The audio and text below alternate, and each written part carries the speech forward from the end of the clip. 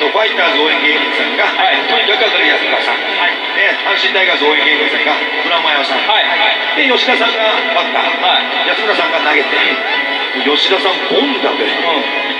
球がですねコロコロコロって転がって止まっちゃったんですよね。フルスイングで一番なんか飛ばなかったっていう見ましたけどそれですよね。それです。ええ。今日は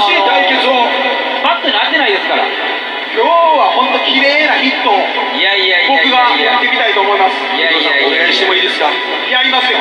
でも遠藤さん野球をやってらしてねかなりの腕前だとお聞きしてますけど。もういやいや。いやそれももう二十数年前の話ですけどももうええもう30年前ですけども、はい。まあでもこういうもう言ったら聖地でね野球ができるっていうのはもうありがたい話なんで一生懸命やりますよですよね、はい。さあ皆さん応援よろしくお願いします。それでは準備をお願いします。はい。お願いします。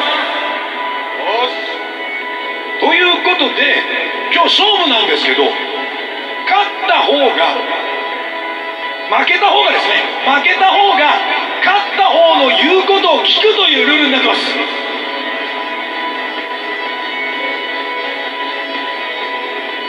じゃあ遠藤さんちょっと投球練習しますか。小田さんもう打ちますかもう。打ちますか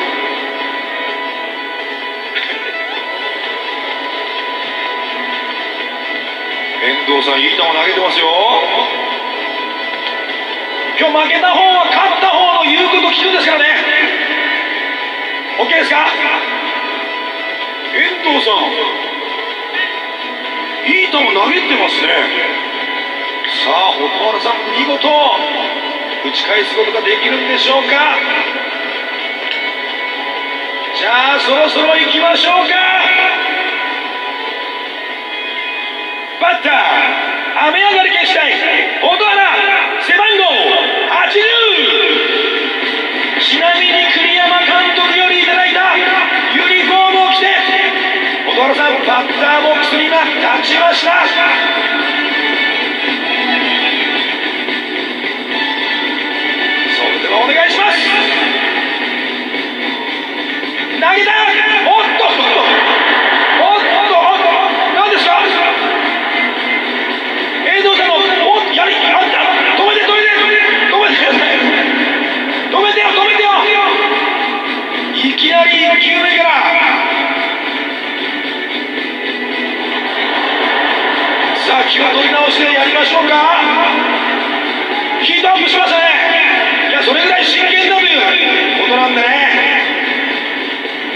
ゃあ続いて遠藤さん2球目お願いします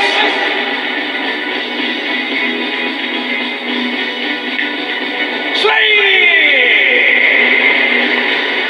いい球投げてますねさあ守備陣にトラッキーも構えてますからね遠藤さん振りかぶって3球目投げました。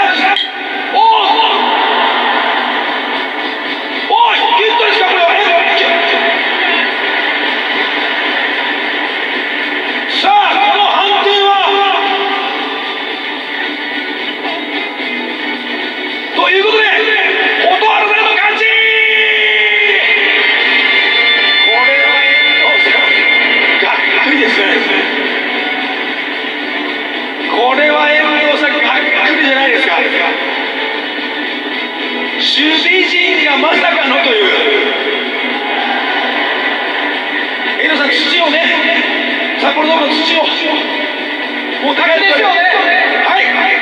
ポテンヒットお手ヒットですもう守備陣の助けもありましたけどじゃあ遠藤さんと今のヒットですかはい。ポテンヒットです今のヒットですかヒットですまあ BB がヒットだとおかしい。なをしてい。ったんでねとい。うことでですよ、勝った方の言うことを聞くということになりましたので。え俺あれ負けになるんですか俺。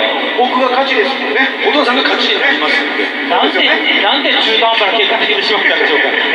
いやいや一応もう僕がまあまあまあしゃあないですよそういうことねで勝ちっていうことですから。はい。どうするんですか？どうします？あのね、はい。いいですか？はいいいですよ。じゃあ遠藤君罰ゲームね。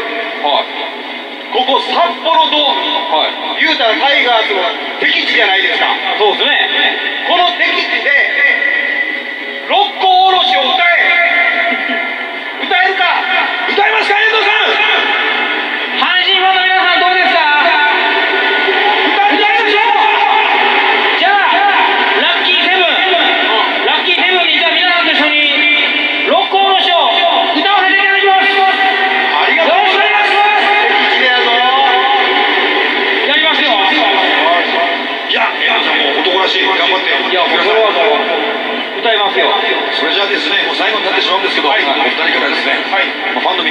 皆さんにメッセージを一言ずつお願い。します、はい。い。やもう本当にね、あのーまあ、勝ち負けつきますけども、もう野球は本当に楽しんで、もう本当にもう超人の集まりだと思い。ますので、今からやることは、本当に一球一球、もう真剣に